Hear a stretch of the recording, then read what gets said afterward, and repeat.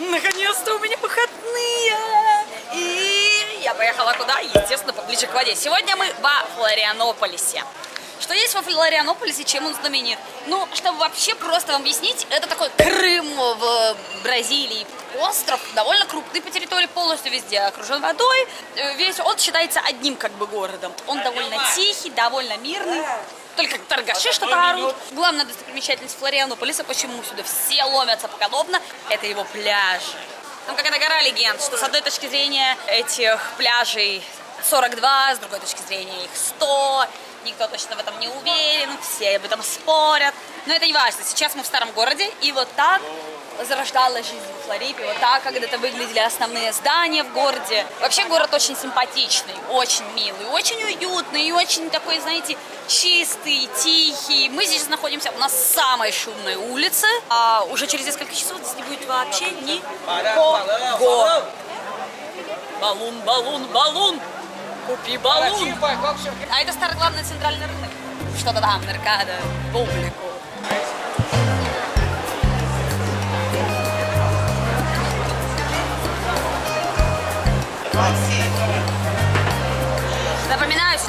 Зима и самое несезонное время.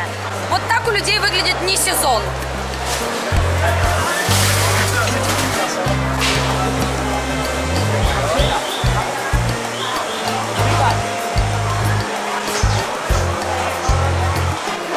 А, Для примера по ценам вот креветки размером почти с мою ладонь 50 реалов килограмм, ну 800 рублей за кило. И лосось те же примерно 800 рублей за килограмм.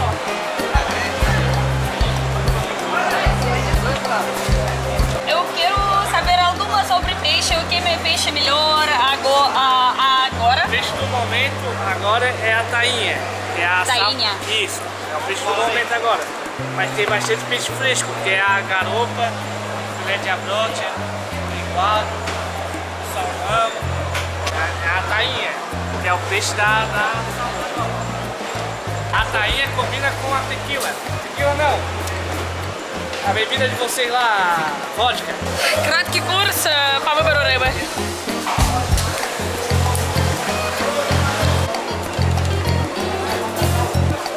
Лобстер, ребята. Почем осьминоги? Осьминоги 800 рублей за кило всего. Я не люблю, а, я не люблю морепродукты особенно. Ну, сейчас люблю, кажется. Флорианополис входит в десятку лучших мест в мире для проведения время- времени, когда ты на пенсии. Сейчас в городе зима, поэтому тут только местные. Народа совсем мало. Когда придет лето, количество людей в городе увеличится в, я не знаю, сколько раз, тогда здесь, конечно, проще свихнуться, потому что дорог никаких толком нет. Тем не менее, город утопает в зелени, огромное количество каких-то заповедников, пляжей. Он а, хорош для всяких трекингов. Если посмотреть на него сверху, то можно просто удивиться, а, собственно, люди вошли в остров. И прямо куда вошли, там и поселились. Поэтому центр, он скорее вот прям тут вот на пороге острова, а все, что дальше туда, это такие периферии, где просто там, я не знаю, один сельский магазин, который работает до 6 вечера и все. Но зато пляж, зато природа. Мне нравится во Флорипе тем, что здесь спокойно, тем, что здесь я совершенно спокойно могу гулять с камерой и телефоном. Здесь относительно чисто. Кстати, Флорипа, преимущественно сюда приезжали немцы, Поэтому тут вообще темнокожих встретишь очень редко, кстати. Такая белая-белая-белая Бразилия. Помните вот эту традицию про то, что ты идешь мимо э, прилавков торгашей, и они что-то кричат, э, приз- призывают тебя купить. Вот в Бразилии все еще это живо, и люди реально уверены, что это помогает продажам. Ну, раз они все это используют, значит, помогает. Я пару раз видела просто, что стоит реально мужик с микрофоном и такой, типа, у нас лучшие утюги. А сейчас я покажу вам самый красивый вид, который существует сверху на Флорианополис. Это смотровая площадка, самая высокая точка города. Но представьте себе смотровую площадку в любом городе, в туристическом, где бы вы были. Что было на той смотровой площадке? Кафе, рестораны, шарики, шашлыки, все что угодно. Что есть здесь? И это тот момент, когда я радуюсь бразильской лени и вот это их крутое свойство отсутствия жажды наживы. никакой освещенности, при этом мне сказали, что как только начнет садиться солнце, где-то примерно к 5 часам, лучше отсюда делать ноги, потому что здесь уже становится небезопасно. Но при этом дух захватывает. Красота, конечно.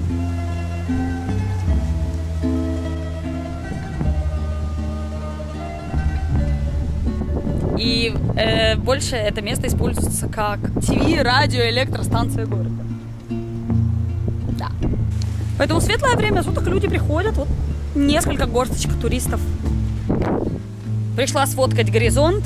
Собственно, все. Но воздух здесь отличный. Чуваки, сейчас будет красивущая съемка красивущего заката. Ну посмотрите, какой ценой. Я похожа на терминатора. От меня бразильцы в стороны разбегаются. Но ничего. У-у-у.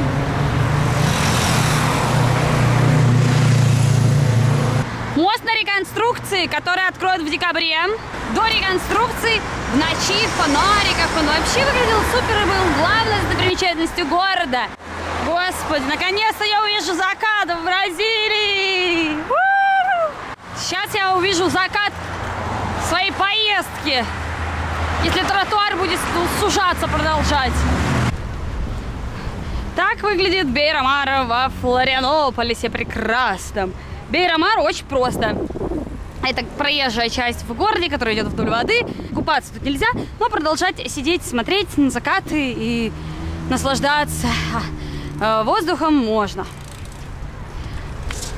У, в честь того, что сейчас праздники и выходные, тут, конечно, куча всякой всячины происходит. Устойчивый такой крепенький запах глинтвейна стоит в воздухе.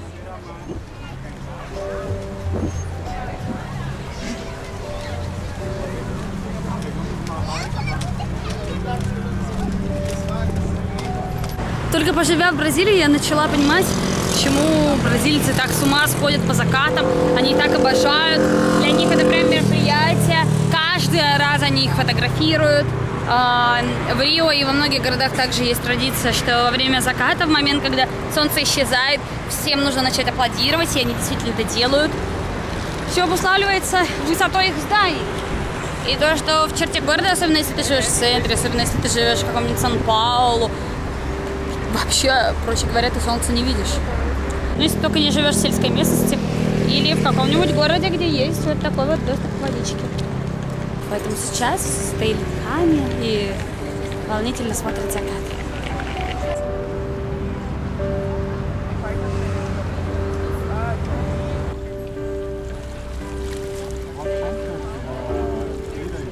Ночной Флорианополис точно так же прекрасен, особенно своими старыми районами, где когда-то жили рыбаки. Здесь, ну, вы видите, безумно классно вот эта колониальная архитектура, и все такое аккуратненько, все такое бережется все еще для туристов. И поэтому сюда хочется приходить. Здесь прекрасная морская кухня, когда тепло, тут куча всяких устриц. Ну, а сейчас я даже не знаю, типа зима, поэтому устриц никаких нет, но есть различная рыбешка, можно что-нибудь найти. Ну как тут уютно, как тут мило. И музыка вот тебе, и вот тебе эти наивные флажочки, все такое красивое, домашнее.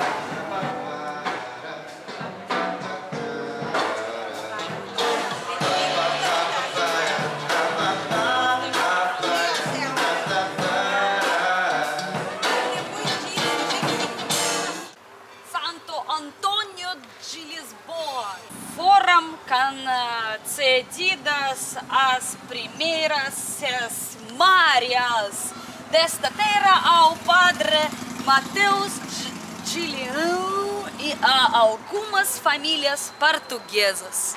Seja bem-vindo, bem-vindo, pessoas!